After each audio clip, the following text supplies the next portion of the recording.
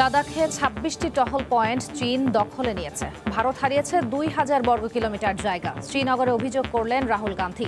ক্ষমতাসীন বিজেপির অস্বীকার। ইসরায়েল ফিলিস্তিন উত্তেজনার মধ্যেই মধ্যপ্রাচ্য সফরে মার্কিন পররাষ্ট্রমন্ত্রী। সোমবার পৌঁছাবেন জেরুজালেমে। দ্বিরাষ্ট্র সমাধানের বিষয়ে আলোচনার সম্ভাবনা।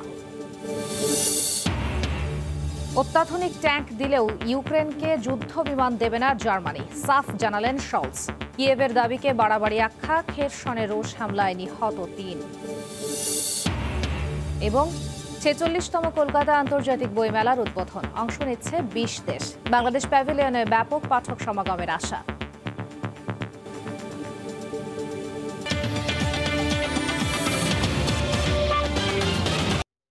ভারতের লাদাখে দুই হাজার বর্গ কিলোমিটার এলাকা চীন নিজেদের দখলে নিয়েছে বলে বিস্ফোরক মন্তব্য করেছেন কংগ্রেস নেতা রাহুল গান্ধী। জম্মু কাশ্মীরের শ্রীনগরে এক সংবাদ সম্মেলনে রাহুল বলেন, চীনের এমন আগ্রাসী আচরণকে অস্বীকার করে মোদী সরকার দেশের জন্য বিপদ ডেকে আনছেন।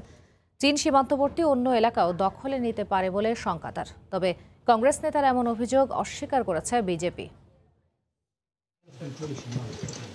লাদাখ নিয়ে চীনের সঙ্গে দীর্ঘদিনের বিরোধপূর্ণ সম্পর্ক ভারতের। দুহাজার বিশ সালে গালওয়ান উপত্যকায় চীন ও ভারতের সামরিক বাহিনীর সদস্যদের মধ্যে সংঘাত হয়। এরপর গেল বছর অরুণাচল প্রদেশের সীমান্তেও দুই দেশের সেনারা সংঘর্ষে জড়ায়। সম্প্রতি লাদাখের পঁয়ষট্টিটি টহল পয়েন্টের মধ্যে ছাব্বিশটিতে প্রবেশের অধিকার হারায় ভারত। দুই দেশের চলমান এই উত্তেজনার মধ্যেই এবার বিস্ফোরক মন্তব্য করেছেন কংগ্রেস নেতা রাহুল গান্ধী।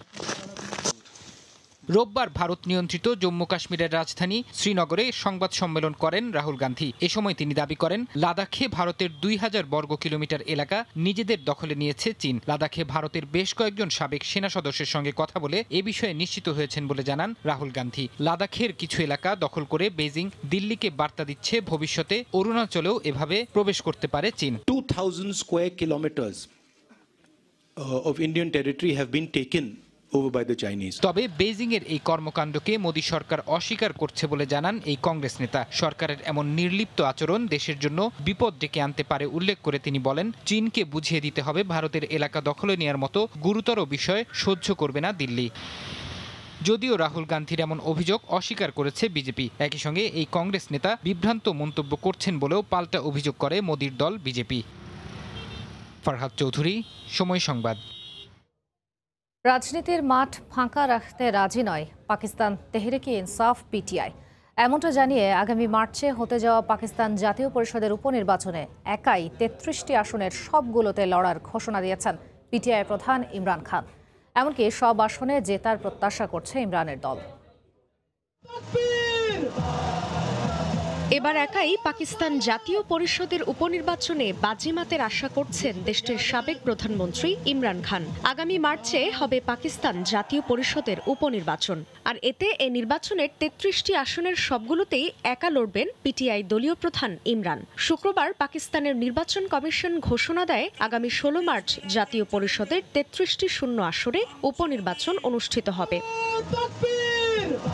জাতীয় পরিষদের স্পিকার রাজা পারভেজ আশরাফ পিটিআই এর আইন প্রণেতাদের পদত্যাগপত্র গ্রহণ করার পর নির্বাচনের তারিখ ঘোষণা করেন। এর আগে সাবেক প্রধানমন্ত্রী ইমরান খানের দল পাকিস্তান তেহরিক ই ইনসাফের আইন প্রণেতারা দু হাজার বাইশ সালের এপ্রিলে এসব আসন থেকে পদত্যাগ করেন। এবছরের জানুয়ারিতে পদত্যাগপত্র গৃহীত হয়। এরপর আসনগুলো শূন্য ঘোষণা করা হয়। এদিকে অর্থনৈতিক অস্থিতিশীলতায় বিপাকে পাকিস্তান। টালমাটাল অর্থনীতিকে স্থিতিশীল করতে আন্তর্জাতিক মুদ্রা তহবিল আইএমএফ এর কাছে ছয়শো পঞ্চাশ কোটি ডলার ঋণ চেয়েছে দেশটি। আইএমএফ এখন পর্যন্ত একশো দশ কোটি ডলার ঋণ দিয়েছে দেশটিকে। সেই সঙ্গে পাকিস্তান সরকারকে বেশ কিছু শর্তও জুড়ে দেয় আইএমএফ। এরপরে ডলারের বিপরীতে দেশটিতে মুদ্রার দাম কমে যায়। বাড়ানো হয় নিত্য প্রয়োজনীয় সব পণ্যের দামও। এতে দিশেহারা পাকিস্তানবাসী। এবার ঋণ পেতে আইএমএফ এর শর্তের বেড়াজালে পড়ে পাকিস্তানে আবারও নতুন কর আরোপ ও বিদ্যুৎ ও গ্যাসের দাম আরও বাড়ানোর সিদ্ধান্ত নিয়েছে শাহবাজ সরকার। অর্থনৈতিক বিপর্যয়ের মধ্যে আন্তর্জাতিক সম্প্রদায়ের কাছ থেকে এক হাজার কোটি ডলার অর্থ সহায়তা পেতে যাচ্ছে পাকিস্তান।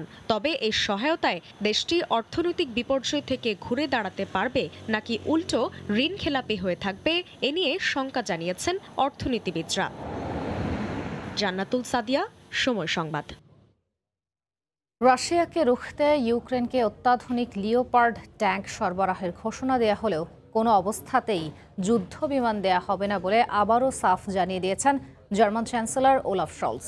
ইউক্রেনের এসব দাবিকে জেলেন্সকি সরকারের বাড়াবাড়ি বলেও মন্তব্য করেন তিনি। জার্মানি থেকে বিটু বড়ুয়ার রিপোর্ট। যুদ্ধ শুরুর পর থেকেই রুশ বাহিনীকে ঘায়েল করতে জার্মানি সহ ন্যাটোর অন্যান্য সদস্য রাষ্ট্রগুলোর কাছে অত্যাধুনিক বিমান বিধ্বংসী ক্ষেপণাস্ত্র, অস্ত্র, কামানো গোলাবারুদ সহ সবশেষে অত্যাধুনিক লিউপা টু ট্যাঙ্ক পাওয়ার পর সম্প্রতি পশ্চিমাদের কাছে যুদ্ধ বিমান ও সাগর তলদেশে আক্রমণের জন্য ইউবোট চেয়ে বসেন ইউক্রেনের প্রেসিডেন্ট ভলোদিমিয়ার জেলেন্সকি কিয়েভের এমন দাবিকে সমরাস্ত্র নিয়ে বাড়াবাড়ি হিসেবে উল্লেখ করে তার নাকচ করে দিয়েছেন জার্মান চ্যান্সেলর ওলাফ শলস রোববার আর্জেন্টিনা সফররত শলস জানান চলমান যুদ্ধে ইউক্রেনকে সব ধরনের সহযোগিতা দিয়ে গেলেও জেলেন্সকির দাবি অনুযায়ী কোনো অবস্থাতেই তাদেরকে যুদ্ধ বিমান সরবরাহ করা হবে না। রাশিয়া ইউক্রেন যুদ্ধ যাতে ইউরোপে ছড়িয়ে পড়তে না পারে তা সতর্কতার সাথে পর্যবেক্ষণ করা হচ্ছে বলেও জানান তিনি। জার্মান চ্যান্সেলর আরও বলেন, ভারী অস্ত্র সরবরাহের পাশাপাশি ইউক্রেনকে আরও কীভাবে সহযোগিতা দেওয়া যায় তা ভেবে দেখবে ন্যাটো। জোটের অন্যান্য সদস্য রাষ্ট্রের সঙ্গে আলোচনা করেই এ বিষয়ে পরবর্তী পদক্ষেপ নেওয়া হবে। যদিও কূটনৈতিক উপায়ে সংকট সমাধানের পথ খোঁজা উচিত বলেও মন্তব্য করেন শলস এর আগে কিয়েভের পক্ষ থেকে তাদের সব মিগ টোয়েন্টি নাইন যুদ্ধ বিমান জার্মানির রামস্টাইন বিমান ঘাঁটিতে প্রস্তুত রাখার প্রস্তাব দেওয়া হলে তা সরাসরি নাকচ করে দেয় বার্লিন। জার্মানির তৈরি অত্যাধুনিক লিউপার ট্যাঙ্ক টু এর পর মিগ টোয়েন্টি নাইন এবং এফ সিক্সটিন যুদ্ধ বিমান সহ সাগর তলদেশের ভয়ঙ্কর যুদ্ধজাহাজ ইউবোট চেয়ে বসেছে ইউক্রেন এখন জার্মানি সহ ন্যাটোভুক্ত দেশগুলো কি সিদ্ধান্ত নেয়, সেটি হয়তো সময় বলে দেবে। তবে একটি ভুল, গোটা ইউরোপের জন্য সারা জীবনের কান্না হবে না তো, এমন প্রশ্ন সামরিক বিশ্লেষকদের। জার্মানি থেকে বিটু বড়ুয়া, সময় সংবাদ।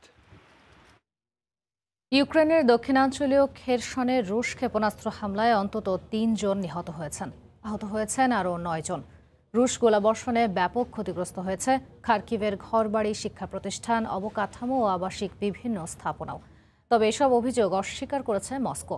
এ অবস্থায় রাশিয়াকে প্রতিহত করতে পশ্চিমা দেশগুলোর প্রতি আরও অস্ত্র সহায়তার আহ্বান জানিয়েছেন ইউক্রেনের প্রেসিডেন্ট ভলোদিমির জেলেন্সকি। ধ্বংসস্তূপে পরিণত হয়েছে ইউক্রেনের দক্ষিণাঞ্চলীয় শহর খেরসন। রোববার একের পর এক রুশ গোলাবর্ষণ ও ক্ষেপণাস্ত্র হামলায় ব্যাপক ক্ষতিগ্রস্ত হয় শহরটির বেশ কয়েকটি ঘরবাড়ি শিক্ষা প্রতিষ্ঠান অবকাঠামো ও আবাসিক বিভিন্ন স্থাপনা। হতাহত হন বেশ কয়েকজন। একই পরিস্থিতি ইউক্রেনের দ্বিতীয় বৃহত্তম শহর খার্কিভেরও। এদিন রুশ হামলায় বিধ্বস্ত হয় হাসপাতাল সহ কয়েকটি আবাসিক স্থাপনা। যদিও এসব অভিযোগ অস্বীকার করেছে মস্কো। পূর্ব ও দক্ষিণ ইউক্রেনে পরিস্থিতি বিপজ্জনক উল্লেখ করে যুদ্ধে রাশিয়াকে প্রতিহত করতে আরও উন্নত প্রযুক্তির ট্যাঙ্ক ও বিমান প্রয়োজন বলে জানিয়েছেন ইউক্রেনের প্রেসিডেন্ট জেলেন্সকি। এ অবস্থায় পশ্চিমা মিত্রদের কাছে আবারও সামরিক ও মানবিক সহায়তা চেয়েছেন জেলেন্সকি। আমাদের সেনারা রুশ বাহিনীকে প্রতিহত করতে সর্বোচ্চ চেষ্টা করছে। তবে রাশিয়ার বিরুদ্ধে লড়তে যুদ্ধক্ষেত্রে আরও অস্ত্র সহায়তা প্রয়োজন। পূর্বাঞ্চলীয় দোনেস্কের এলাকাগুলোতে হামলার খড়ক থামছেই না রাশিয়ার। আর ইউক্রেন জুড়ে অযথা নির্বিচারে হামলা চালিয়ে সাধারণ ইউক্রেনীয়দের জীবন ধ্বংসের মুখে ঠেলে দিচ্ছে পুতিন বাহিনী। আহ্বানে সাড়া দিয়ে এরই মধ্যে পশ্চিমা বিভিন্ন দেশ কিয়েভে অস্ত্র সহায়তা বাড়িয়ে যাচ্ছে। এরই ধারাবাহিকতায় ইউক্রেনকে একত্রিশটি শক্তিশালী আব্রামস ট্যাঙ্ক পাঠাতে পুরোপুরি প্রস্তুত বলে জানিয়েছে যুক্তরাষ্ট্র। শিগগিরই কিয়েভে তা সরবরাহ করা হবে বলেও নিশ্চিত করেছে ওয়াশিংটন। এদিকে রুশ ইউক্রেন যুদ্ধের শুরুর দিকে রাশিয়ার প্রেসিডেন্ট ভ্লাদিমির পুতিন যুক্তরাজ্যে ক্ষেপণাস্ত্র হামলার হুমকি দিয়েছিলেন বলে জানিয়েছেন। সে সময় দায়িত্বে থাকা ব্রিটিশ প্রধানমন্ত্রী বরিস জনসন। তবে যুদ্ধ শুরু করে পশ্চিমাদের নিষেধাজ্ঞার বেড়া জেলে আটকে রাশিয়া নিজেই নিজেদের বিপদ ডেকে আনতে পারে বলে উল্টো পুতিনকে সতর্ক করে দিয়েছিলেন বরিস জনসন। রোববার এক প্রতিবেদনে এসব তথ্য জানায় সংবাদ মাধ্যম বিবিসি। জান্নাতুল সাদিয়া, সময় সংবাদ। ইসরায়েল ফিলিস্তিন চরম উত্তেজনার মধ্যে মধ্যপ্রাচ্য সফরে গেলেন মার্কিন পররাষ্ট্রমন্ত্রী অ্যান্টনি ব্লিংকেন। তিন দিনের সফরের অংশ হিসেবে রোববার মিশরে পৌঁছেছেন তিনি। কায়রোতে যাত্রা বিরতির পর ব্লিংকেন সোমবার যাবেন জেরুজালেমে। সেখানে ইসরায়েলি প্রধানমন্ত্রী বিন ইয়ামিন নেতানিয়াহুর সঙ্গে বৈঠকের পর ফিলিস্তিনের প্রেসিডেন্টের সঙ্গে সাক্ষাৎ করতে রামাল্লা যাবেন ব্লিংকেন। দ্বিরাষ্ট্র সমাধানের ওপর জোর দেয়া ইউক্রেন যুদ্ধ এবং ইরানের পরমাণু ইস্যু নিয়ে মধ্যপ্রাচ্যের কূটনীতিকদের সঙ্গে আলোচনায় গুরুত্ব পাবে বলে জানিয়েছেন মার্কিন কূটনীতিকরা। চলতি বছরের শুরু থেকেই চরম উত্তেজনা বিরাজ করছে ইসরায়েল ফিলিস্তিন ভূখণ্ডে। সম্প্রতি ইসরায়েলি বাহিনীর হাতে একদিনেই নিহত হন দশ ফিলিস্তিনি। এরপর জেরুজালেমের একটি ইহুদি উপাসনালয়ের বাইরে বন্দুকধারীর হামলায় সাতজন নিহত হন। এর জেরে হামাস ও ইসরায়েল পাল্টাপাল্টি ক্ষেপণাস্ত্র ও বিমান হামলাও চালায়। এসব ঘটনায় উত্তপ্ত পরিস্থিতি বিরাজ করছে পুরো অঞ্চল জুড়ে। এর মধ্যেই এবার মধ্যপ্রাচ্য সফরে গেলেন যুক্তরাষ্ট্রের পররাষ্ট্রমন্ত্রী অ্যান্টনি ব্লিংকেন। তিন দিন সফরের অংশ হিসেবে রোববার মিশরে পৌঁছেছেন ব্লিংকেন। সুদান ও লিবিয়ার নির্বাচনের মতো আঞ্চলিক ইস্যুতে সহযোগিতা জোরদার করতে কায়রোতে মিশরের president Abdel Fattah al Sisi ও পররাষ্ট্রমন্ত্রীর সঙ্গে বৈঠক করবেন ব্লিংকেন। অবশ্য তার আলোচ্যসূচির শীর্ষে রয়েছে ইরানের পরমাণু ইস্যু ও ইউক্রেন যুদ্ধ। ইউক্রেনে এগারো মাস ধরে চলা যুদ্ধে রাশিয়াকে ইরানের সহযোগিতা ইস্যু নিয়েও সফরে তিনি আলোচনা করবেন মধ্যপ্রাচ্যের কূটনীতিকদের সঙ্গে। এছাড়া দু হাজার পনেরো সালের পরমাণু চুক্তি পুনরুজ্জীবিত করার বাইডেন প্রশাসনের প্রচেষ্টা থমকে যাওয়ার পর এর অগ্রগতি নিয়েও আলোচনা হবে বলে জানিয়েছেন মার্কিন কূটনীতিকরা। কায়রোতে যাত্রা বিরতির পর ব্লিংকেন সোমবার যাবেন জেরুজালেমে। সেখানে ইসরায়েলি প্রধানমন্ত্রী বিনিয়ামিন নেতানিয়াহুর সঙ্গে বৈঠক করবেন তিনি। এমনকি ফিলিস্তিনের প্রেসিডেন্ট মাহমুদ আব্বাসের সঙ্গে সাক্ষাৎ করতে রামাল্লা সফরও করবেন ব্লিংকেন। বৈঠকে ওই অঞ্চলে শান্তি বজায় রাখতে এবং দ্বিরাষ্ট্র সমাধানের ওপর গুরুত্বারোপ করা হবে বলে আশা প্রকাশ করছেন বিশ্লেষকরা। এর আগে দু হাজার একুশ সালে মধ্যপ্রাচ্য সফর করেন মার্কিন শীর্ষ এই কূটনীতিক। ביד אחת אנחנו מגבירים את ה... জান্নাতুল সাদিয়া সময় সংবাদ ইসরায়েলিদের হাতে আরও সহজে অস্ত্র তুলে দেওয়ার পরিকল্পনা নিয়েছে নেতানিয়াহু সরকার অস্ত্র নিয়ন্ত্রণ আইন শিথিল করার মধ্য দিয়ে আগ্নেয়াস্ত্র সহজলভ্য করার এই পরিকল্পনা বাস্তবায়ন হলে অধিকৃত পশ্চিম তীর ও পূর্ব জেরুজালেমে ফিলিস্তিনিদের বিরুদ্ধে সহিংসতা আরও বেড়ে যাবে আশঙ্কা করছেন বিশ্লেষকরা অধিকৃত পশ্চিম তীরে ইসরায়েলি বাহিনীর অভিযান ঘিরে চলমান উত্তেজনার মধ্যেই অস্ত্র নিয়ন্ত্রণ আইন আরও শিথিল করার পরিকল্পনা নিয়েছে বর্তমান নেতানিয়াহু সরকার। এর মধ্য দিয়ে সাধারণ ইসরায়েলিরা আগের চেয়ে আরও সহজে আগ্নেয়াস্ত্র ক্রয় করতে পারবেন বলে জানিয়েছেন ইসরায়েলি প্রধানমন্ত্রী বিনিয়ামিন নেতানিয়াহু। শনিবার মন্ত্রিসভার এক বৈঠক শেষে তিনি জানান, ইসরায়েলি নাগরিকদের সুরক্ষায় তার সরকার এখন থেকে সহজেই অস্ত্র ক্রয়ের অনুমতি দেবে। একই সঙ্গে সাধারণ ইসরায়েলিদের হাতে বেশি করে আগ্নেয়াস্ত্র তুলে দিতে অবৈধ অস্ত্র সংগ্রহের চেষ্টা আরও জোরদার করা হবে বলেও জানান তিনি। শুধু তাই নয়, অধিকৃত পশ্চিম তীরে অবৈধ বসতি স্থাপন প্রক্রিয়াও জোরদার করা হবে বলে জানান ইসরায়েলি প্রধানমন্ত্রী। নেতানিয়াহুর এমন ঘোষণায় অধিকৃত পশ্চিম তীর এবং পূর্ব জেরুজালেমে উত্তেজনা আরও বাড়বে বলে মনে করছেন বিশ্লেষকরা। শুধু তাই নয়, এর মধ্য দিয়ে নেতানিয়াহু ফিলিস্তিনিদের ওপর সহিংসতা চালাতে ইসরায়েলিদের সবুজ সংকেত দিচ্ছেন বলেও মনে করেন অনেকে। এর আগে গেল শুক্রবার পূর্ব জেরুজালেমের একটি ইহুদি উপাসনালয়ের বাইরে গুলিতে নিহত হন অন্তত সাতজন। পশ্চিম তীরের জেনিনে ইসরায়েলি বাহিনীর অভিযানে নয় ফিলিস্তিনি নিহত হওয়ার পর ওই বন্দুক হামলার ঘটনা ঘটে। একে কেন্দ্র করে পাল্টাপাল্টি ক্ষেপণাস্ত্র ও বিমান হামলা চালায় হামাস ও ইসরায়েল। চলতি মাসে এখন পর্যন্ত বত্রিশ ফিলিস্তিনিকে হত্যা করেছে ইসরায়েলি বাহিনী। অন্য কর্মকার, সময় সংবাদ। ন্যাটোতে যোগ দিতে ফিনল্যান্ডের আবেদনের অনুমোদন দিতে পারে তুরস্ক। রোববার তুর্কি প্রেসিডেন্ট রিসেপ তাইপ দোয়ান এমনটাই আভাস দিয়েছেন। ফিনল্যান্ডকে দিলেও তবে সুইডেনকে অনুমোদন দেবে না বলে ইঙ্গিত দিয়েছেন তিনি। খুব শিগগিরই ফিনল্যান্ডকে ন্যাটোর সদস্যপদ পাওয়ার আবেদনে অনুমোদন দিতে যাচ্ছে তুরস্ক। রোববার দেশটির প্রেসিডেন্ট রিসেপ তাইপ এরদোয়ান এমন আভাস দিয়েছেন। তবে এর জন্য শর্ত জুড়ে দিয়েছেন এরদোয়ান। রোববার এক টেলিভিশন বক্তব্যে তিনি বলেছেন, প্রতিবেশী দেশ সুইডেনকে বাদ দিলে ফিনল্যান্ডকে ন্যাটোতে মেনে নিতে পারে তুরস্ক। তারা তুরস্ককে চেনে না। তারা ভাবে যে তুরস্ক বিশ, চল্লিশ বছর আগের তুরস্কই আছে। প্রয়োজন হলে ফিনল্যান্ডের বিষয়ে আমরা ভিন্ন বার্তা দিতে পারি, যা শুনে সুইডেন চমকে যাবে। মূলত সুইডেনের ন্যাটোতে যোগদানের আবেদনের বিষয়ে জবাব দিয়েছেন তিনি। সুইডেনের প্রতি বিরূপ মনোভাব রয়েছে তুরস্কের। কুর্দি বিদ্রোহী হিসেবে সন্দেহভাজন বেশ কয়েকজন সুইডেনে অবস্থান করছেন। তাদের হস্তান্তর করতে রাজি হয়নি দেশটি। সে কারণে ক্ষুব্ধ ছিলেন এরদোয়ান। তবে আঙ্কারার দাবি মেনে সন্ত্রাস বিরোধী আইন কঠোর করতে সংবিধানের সংশোধনী আনার বিষয়টি অনুমোদন করে সুইডেন। ফিনল্যান্ড ও সুইডেন দুদেশই তুরস্কে সেনা সরঞ্জাম বিক্রিতে নিষেধাজ্ঞা তুলে নেয়। তবে এ মাসের শুরুতে স্টকহোমে তুর্কি দূতাবাসের বাইরে এক বিক্ষোভকারীর পবিত্র কোরআন পোড়ানোর ঘটনা অনুমোদন করায় তীব্র প্রতিক্রিয়া দেখিয়েছে আঙ্কারা। সুইডেনের কর্মকর্তারা এই বিক্ষোভের প্রতিবাদ জানালেও দেশটিতে মুক্ত বাকস্বাধীনতা চর্চার বিষয়ে সমর্থন দিয়েছেন তারা। এতে সুইডেনের ওপর ক্ষুব্ধ এরদোয়ান আরও ক্ষুব্ধ হন। এসবের পরিপ্রেক্ষিতেই সুইডেনকে নয়, ফিনল্যান্ডকে ন্যাটোর সদস্যপদ পেতে অনুমোদনের আভাস দিলেন তুর্কি প্রেসিডেন্ট। তবে আগামী চোদ্দই মে অনুষ্ঠেয় নির্বাচন উপলক্ষে এরদোয়ান নিজের অবস্থান শক্তিশালী করতে রক্ষণশীল ও জাতীয়তাবাদীদের সমর্থন পাওয়ার চেষ্টা করছেন বলে মনে করছেন বিশ্লেষকরা। ইউক্রেনে রাশিয়ার অভিযানের জেরে ফিনল্যান্ড ও সুইডেন ন্যাটোতে যোগ দিতে আবেদন করেছে। তবে তুরস্ক, ফিনল্যান্ড ও সুইডেনকে নিতে রাজি হয়নি। শুধু তুরস্কই নয়, হাঙ্গেরিও এখনও অনুমোদন দেয়নি। তবে হাঙ্গেরির আইনসভা আগামী ফেব্রুয়ারি মাসে দুটি দেশকে এ ব্যাপারে অনুমোদন দেবে বলে আশা করা হচ্ছে। সময় সংবাদ। মোদীকে নিয়ে বিবিসির করা তথ্যচিত্র নিষিদ্ধের বিরুদ্ধে করা আপিল আমলে নিলেন আদালত। আগামী ছয় ফেব্রুয়ারি শুনানির দিন ধার্য করেছেন সুপ্রিম কোর্ট। তথ্যচিত্রটি ভারতে নিষিদ্ধ করা হলেও বিভিন্ন উপায়ে এটি দেখছেন দেশটির সাধারণ শিক্ষার্থীরা।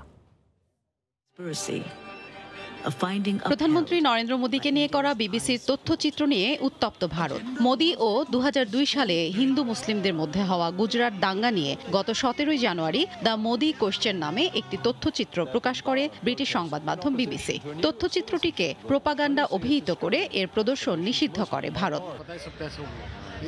তবে এ নিষিদ্ধের বিরুদ্ধে সুপ্রিম কোর্টে আপিল করেন কয়েকজন বিশিষ্ট নাগরিক। তাদের আপিলের বিপরীতে নিষেধাজ্ঞা নিয়ে আগামী ছয় ফেব্রুয়ারি শুনানির দিন ধার্য করেছেন সুপ্রিম কোর্ট। ভারতের প্রধান বিচারপতি ধনঞ্জয় চন্দ্রচূড়ের নেতৃত্বে তিন সদস্যের একটি বেঞ্চ গঠন করা হয়েছে। এই বেঞ্চই নিষেধাজ্ঞার বিরুদ্ধে করা আপিল আমলে নেন। বিবিসির তথ্যচিত্রটিতে গুজরাটের তৎকালীন মুখ্যমন্ত্রী ও বর্তমান প্রধানমন্ত্রী নরেন্দ্র মোদীর ভূমিকা তুলে ধরা হয়েছে। এতে দেখানো হয়েছে, মোদী সে সময় দাঙ্গা উস্কে দিয়েছিলেন। তথ্যচিত্রটি ভারতে নিষিদ্ধ করা হলেও বিভিন্ন উপায়ে এটি দেখছেন দেশটির সাধারণ শিক্ষার্থীরা। বেশ কয়েকটি বিশ্ববিদ্যালয়ে তথ্যচিত্রটির প্রদর্শনীর আয়োজন করা হয়। অনেক শিক্ষা প্রতিষ্ঠানের কর্তৃপক্ষ আয়োজনে বাধা দিলে পুলিশ এবং শিক্ষার্থীদের মধ্যে সংঘর্ষের ঘটনাও ঘটেছে। হাফসাতুন্নেসা সময় সংবাদ। ইরানের একটি সামরিক স্থাপনায় বড় ধরনের ড্রোন হামলা ঠেকিয়ে দেওয়ার দাবি করেছে দেশটির প্রতিরক্ষা মন্ত্রণালয়। অন্তত তিনটি ড্রোন ব্যবহার করে ওই হামলার চেষ্টা চালানো হয় বলেও জানানো হয়। এতে এখন পর্যন্ত হতাহতের কোনো খবর পাওয়া যায়নি।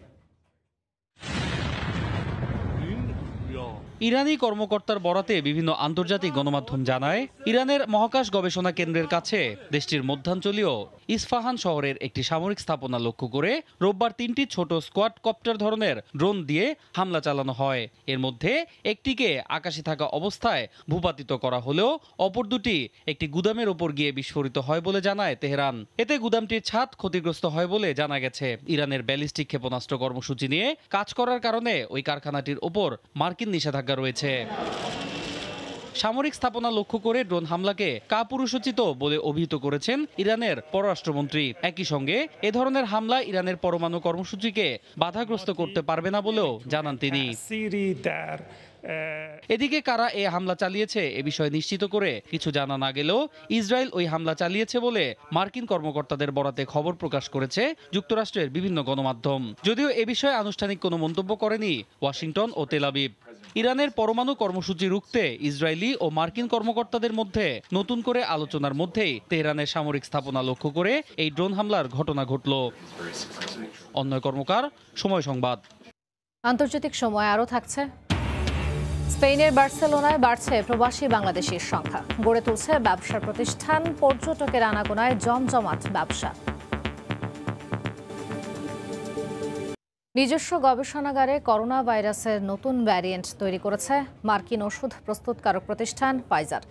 এমন অবাক করা তথ্য প্রকাশ করা হয়েছে খোদ প্রতিষ্ঠানটির ওয়েবসাইটেই। যদিও ফাইজার দাবি করেছে ভ্যাকসিনের কার্যকারিতা পরীক্ষা করতেই নতুন ভ্যারিয়েন্ট তৈরি করা হয়েছে। তবে অসাবধানতাবশত নতুন ধরন ছড়িয়ে পড়তে পারে কিনা সে নিয়ে আশঙ্কা প্রকাশ করেছেন বিশেষজ্ঞরা।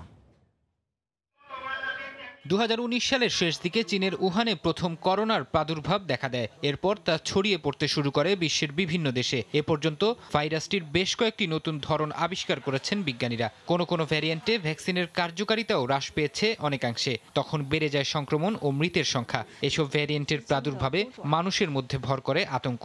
এবার করোনার নতুন ধরন তৈরির অবাক করা তথ্য দিয়েছে মার্কিন ওষুধ প্রস্তুতকারক প্রতিষ্ঠান ফাইজার।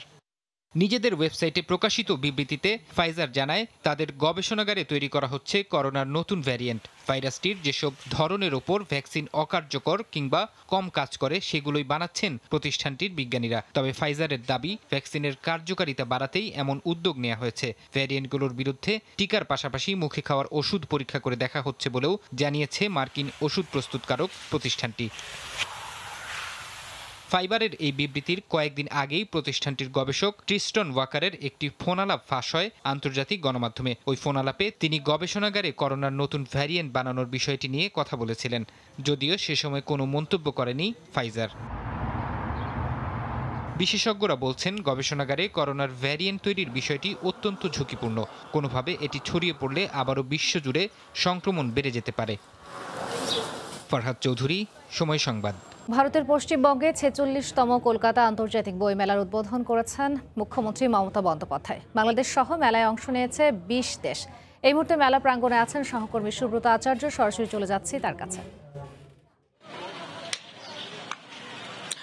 দেখুন, কলকাতার এই ছেচল্লিশতম পুস্তক মেলার যে রীতি, সেই রীতি অনুযায়ী কিন্তু আজকে ছেচল্লিশ বার ঘণ্টা বাজিয়ে পশ্চিমবঙ্গের মুখ্যমন্ত্রী মমতা বন্দ্যোপাধ্যায় আনুষ্ঠানিকভাবে মেলার যে শুভ সূচনা, সেটি কিন্তু করে দিয়েছেন। স্থানীয় সময় পৌনে দুটোর সময়। আপনি জানেন যে কোভিড পরবর্তীতে খানিকটা কোভিডের সময় যেরকম বইমেলা আয়োজনের ম্লান হয়েছিল, সেটি কিন্তু এই বছর আয়োজকরা বলছেন যে যে বইমেলা প্রায় কোভিড মুক্ত পরিবেশে হচ্ছে মানে আয়োজকরা আশা প্রকাশ করছেন যে এবারের মেলায় লোক পাঠক সমাগম যে হবে সেটি কিন্তু ইতিহাস সৃষ্টি করবে। আপনি জানেন বরাবরই যে কলকাতায়, কলকাতা বইমেলায় বাংলাদেশের সরব উপস্থিতি একটি নজর কাড়ে এবারে বাংলাদেশের আমি সহকর্মীকে বলব যে বাংলাদেশের প্যাভিলিয়ন করা হয়েছিল, বাংলাদেশের রাষ্ট্রপতি ভবন অর্থাৎ বঙ্গভবনের আদলে প্যাভিলিয়ন করা হয়েছে। আপনি জানেন যে বইমেলার আনুষ্ঠানিক উদ্বোধন আজকে হলেও আসলে সাধারণ মানুষের জন্য বইমেলার দরজা খুলে দেওয়া হবে আগামীকাল, অর্থাৎ একত্রিশ তারিখ বেলা বারোটা এবং বারোটা থেকে রাত আটটা পর্যন্ত মেলা চলবে। আপনি জানেন যে একই রকম ভাবে আগামীকালকে, অর্থাৎ একত্রিশ তারিখ বিকেল চারটের সময় আনুষ্ঠানিকভাবে এই কলকাতায় বাংলাদেশ কলকাতা বইমেলায় বাংলাদেশের এই যে প্যাভিলিয়ন যেটি বঙ্গভবনের আদলে করা হয়েছে, সেটিও কিন্তু আনুষ্ঠানিক উদ্বোধন করবেন কলকাতা নিযুক্ত বাংলাদেশের deputy high commissioner Andalib Elias. আপনি এদিকে একটি জিনিস বলতে হবে, আজকে মুখ্যমন্ত্রী মমতা বন্দ্যোপাধ্যায় যখন বইমেলার উদ্বোধন করেন, তিনি একই সঙ্গে কিন্তু তারও যে ছটি বই, সেই ছটি বইয়ের মোড়ক উন্মোচন করা হয়। এর আগে মুখ্যমন্ত্রী একশো আঠাশটি বই লিখেছেন এবং সেটি কিন্তু একশো একশো চৌত্রিশতম বই এবং সেই বিষয়টি মুখ্যমন্ত্রী বলেছেন যে বইয়ের নামই জীবন। তিনি একই সঙ্গে বলেছেন যে ইন্টারনেটে যতই বই পড়া হোক, কিন্তু বইয়ের বই পড়ার যে প্রাণ, বই পড়ার যে আনন্দ, সেটি কিন্তু বইয়ের পাতা উল্টে তার গ্রান নিতে নিতে কিন্তু সেই আনন্দ অবগাহন করতে মুখ্যমন্ত্রী মমতা বন্দ্যোপাধ্যায় বলেছেন। আরেকটি কথা যেটি বলতে হবে, কলকাতা, আপনি জানেন যে উনিশশো ছিয়াত্তর সালে কলকাতার যে পুস্তক মেলা পুস্তক মেলা শুরু, সূচনা করেছিলেন কলকাতার কয়েকজন প্রকাশক এবং বই বিক্রেতা। সেই তারা তাদেরই আয়োজনে আজকে ছিচল্লিশতম বইমেলা আন্তর্জাতিক পুস্তক মেলা এবং সেই পুস্তক মেলা কিন্তু আগামীতে দিল্লিতে করারও কিন্তু নির্দেশনা দিয়েছেন পশ্চিমবঙ্গের মুখ্যমন্ত্রী মমতা বন্দ্যোপাধ্যায়। আগামীকাল থেকে পুরোদমে বই পোকারা হাজির হয়ে যাবেন এই কলকাতার ছিচল্লিশতম কলকাতা বইমেলা এবং এমনটাই কিন্তু প্রত্যাশা যে এবারের ভিড় পাঠকদের কিন্তু রেকর্ড ছাড়াবে। তো এই ছিল আমার কাছে ছেচল্লিশতম কলকাতা বইমেলার অনুষ্ঠান। শুভ সূচনা হওয়ার পর যে প্রস্তুতি, আমার কাছে সংক্রান্ত সব শেষ। কলকাতা আন্তর্জাতিক বইমেলা থেকে যুক্ত হয়েছিলেন সহকর্মী সুব্রত আচার্য। চীনের স্বায়ত্তশাসিত অঞ্চলে উইঘুরে ছয় দশমিক এক মাত্রার ভূমিকম্প আঘাত হেনেছে। তাৎক্ষণিকভাবে কোনো প্রাণহানি কিংবা ক্ষয়ক্ষতির খবর পাওয়া যায়নি। স্থানীয় সময় সোমবার সকাল পৌনে আটটার দিকে ভূমিকম্প অনুভূত হলে আতঙ্ক ছড়িয়ে পড়ে। স্থানীয় সময় সোমবার সকাল সাতটা সাতচল্লিশ মিনিট হঠাৎ ভূমিকম্পে কেঁপে ওঠে চীনের স্বায়ত্তশাসিত জিজিয়াং প্রদেশের উইঘুর অঞ্চল। ভূমিকম্প হচ্ছে বুঝতে পেরে চারিদিকে ছোটাছুটি করতে থাকেন অঞ্চলটির বাসিন্দারা। জীবন বাঁচাতে খোলা আকাশের নিচে আশ্রয় নেন অনেকে। চীনা ভূমিকম্প নেটওয়ার্ক সেন্টার সিইএনসি জানায় রিক্টার স্কেলে ভূমিকম্পের মাত্রা ছিল ছয় দশমিক এক। কেন্দ্রস্থল থেকে পঞ্চাশ কিলোমিটার পর্যন্ত ভূকম্পন অনুভূত হয় বলেও জানানো হয়। এতে অঞ্চলটির মেট্রো স্টেশন বিমানবন্দর থেকে শুরু করে বিভিন্ন গুরুত্বপূর্ণ স্থাপনা কেঁপে ওঠে। তাৎক্ষণিকভাবে কোনো প্রাণহানি কিংবা ক্ষয়ক্ষতি হয়নি বলে নিশ্চিত করেছে অঞ্চলটির কর্তৃপক্ষ। তবে সতর্কতার অংশ হিসেবে রেল লাইন বড় সেতু এবং টানেলের পরিস্থিতি পর্যবেক্ষণের নির্দেশ দেওয়া হয়েছে। আরও ভূমিকম্পের আশঙ্কায় জারি করা হয়েছে সর্বোচ্চ সতর্কতা। রবিউল ইসলাম আওলাদ সময় সংবাদ। যুক্তরাষ্ট্রের নিউ ইয়র্কে ছোট যাত্রীবাহী বাস ও ট্রাকের সংঘর্ষে ছয় জন নিহত হয়েছেন। এই ঘটনায় আহত হয়েছেন আরও বেশ কয়েকজন। শনিবার স্থানীয় সময় ভোর ছয়টার দিকে অঙ্গরাজ্যের কানাডা সীমান্তের কাছে লুইসভিল শহরের হাইওয়েতে এই দুর্ঘটনা ঘটে। দুর্ঘটনার পর ঘটনাস্থলে পৌঁছে ছয় জনের মরদেহ উদ্ধার করে পুলিশ। আহতদের উদ্ধার করে পাঠানো হয় হাসপাতালে। তাদের মধ্যে একজনের অবস্থা আশঙ্কাজনক বলে জানিয়েছে হাসপাতাল কর্তৃপক্ষ। রাস্তায় জমে থাকা তুষারের কারণে এই দুর্ঘটনা ঘটে থাকতে পারে বলে প্রাথমিকভাবে ধারণা করে স্পেনের প্রসিদ্ধ নগরী বার্সেলোনা, যার পরিচিতি বিশ্বজুড়ে। শুরুতে হাতে গোনা কয়েকজন বাংলাদেশের বসবাস হলেও বর্তমানে এই সংখ্যা বেড়েছে কয়েকগুণ দেশি বিদেশি পর্যটকের পছন্দের তালিকায় সবার উপরে স্পেনের বার্সেলোনা। স্পেন থেকে সাইফুল আমিনের তথ্য ছবিতে রিপোর্ট। স্পেনের ঐতিহাসিক অঞ্চল কাতালুনিয়া। অর্থনৈতিক আর স্বাধিকার আন্দোলনের অন্যতম কেন্দ্রস্থল অঞ্চলটির রাজধানী আজকের বার্সেলোনা। উনিশশো নব্বই সালের আগ পর্যন্ত শহরটিতে হাতে গোনা কয়েকজন বাংলাদেশের বসবাস থাকলেও বর্তমানে এই সংখ্যা বাড়ছে হু হু করে। প্রতিটি অলিগলিতে রয়েছে বাংলাদেশি মালিকানাধীন নানা ব্যবসা প্রতিষ্ঠান আর এতে কর্মসংস্থান হচ্ছে বিপুল সংখ্যক প্রবাসী বাংলাদেশের। বিগত চল্লিশ বছর বার্সেলোনা আমাদের বাংলাদেশিরা বসবাস করেন। বাংলাদেশি অনেক ভাই এবং বন্ধুরা এখানে বিভিন্ন ব্যবসা বাণিজ্য করে। বার্সেলোনা আছি অনেক বছর ধরে অনেক বছর ধরে ব্যবসায় আছি ব্যবসা জড়িত এবং আমরা শান্তিপূর্ণভাবে ব্যবসা করে যাচ্ছি। বার্সেলোনায় বেশিরভাগ প্রবাসীর বসবাস রাভালে হলেও বিভিন্ন এলাকা মিলিয়ে প্রায় পনেরো হাজার বাংলাদেশি বসবাস করেন এই শহরটিতে। বাংলাদেশিদের আতিথেয়তার প্রশংসা রয়েছে গোটা স্পেনে। ভ্রাতৃত্ব ও ঐক্যের মেলবন্ধনে বেশ সুখে শান্তিতেই বসবাস করেন এখানকার প্রবাসীরা। প্রায় নিয়মিতভাবেই আয়োজন করা হয়ে থাকে বাংলা সংস্কৃতির নানা উৎসব। উদযাপন করা হয় বাংলাদেশের জাতীয় উৎসবগুলোও। বাংলাদেশিদের নতুন প্রজন্মের জন্য আমরা এখানে স্কুল মাদ্রাসা এবং মসজিদ আমরা করেছি।